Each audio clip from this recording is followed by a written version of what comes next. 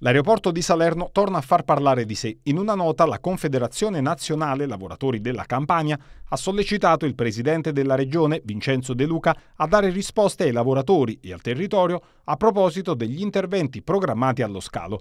Il cronoprogramma del Costa d'Amalfi prevede la fine dei lavori entro il 2024, ma per i rappresentanti sindacali il cantiere di Salerno è fermo ormai da troppo tempo. Tempo indietro eh, chiedemmo uh, direttamente al, Presidente De Luca chiarimenti su una situazione di blocco dei lavori. Nell'incertezza del, del blocco e nell'incertezza del mancato sviluppo di un, di un asset economico nonché industriale della, della, nostra regione era doveroso chiedere al Presidente chiarimenti sulla, sulla questione eh, sono passati mesi, ad oggi non c'è stata alcuna risposta e sembra che a tutt'oggi non, non ci sia un, una chiara visione e un chiarimento su come e quando aprirà l'aeroporto di Salerno.